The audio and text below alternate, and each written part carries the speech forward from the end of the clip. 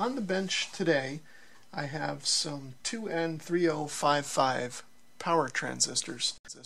These transistors in the back are the old ones. These came out of an old uh, power supply that I'm working on and these are the new replacements here. So I'm just going to show really quick um, kind of a quick and easy way to test these transistors. If you take a look at the bottom of the transistor you'll notice that the two leads are sort of off center a bit and in this orientation the leads are kind of closer to the surface of the desk or the bottom I guess if you want to call it that on this orientation. So when the transistor is oriented like this the case is the collector this pin over here on the left is the emitter and this pin on the right is the base.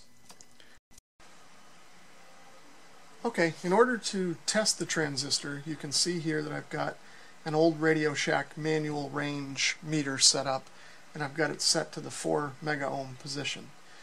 Now, uh, attached to my negative lead here, I've got a green uh, alligator clip wire, and I'm going to connect that to my emitter pin on the transistor, which is the left side pin. The next thing that I'll do is I'll take the positive lead and I will connect that to the case or collector of the transistor. So now to test the transistor and see if it turns on, I'm going to short the base pin with this white wire to the collector of the transistor to see if it conducts. When I do this, you should see the resistance drop to a measurable level.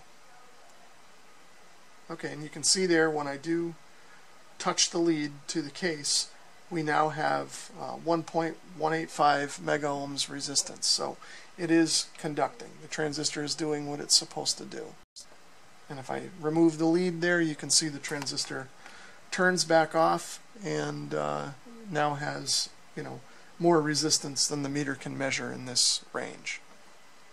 Now for um, comparison's sake, I've got one of the old transistors here that I'll connect up the same way that I had the other one connected. I'll connect the emitter to the negative side. I'll collect the collector or connect the collector to the positive side and then I will try and turn the transistor on by shorting the base pin to the collector and you should be able to see there in the meter that the resistance is still uh, high and in fact if I go up to the 40 mega ohm range in this case you can also see that nothing's happening so this transistor is dead. dead.